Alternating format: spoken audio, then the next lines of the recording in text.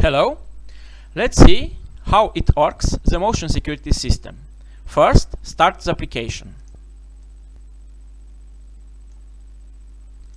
Then, select the appropriate sensor tag. The motion security system is able to work only with CC2650 sensor tag.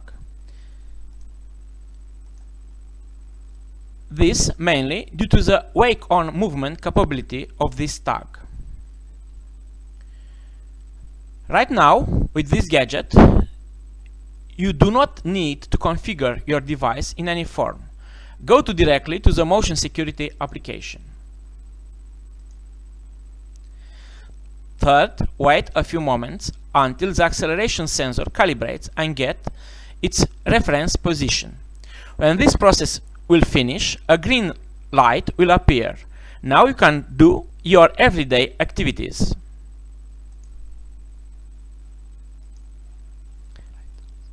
At the slightest movements, you will be warned audibly or and visually as you chose previously.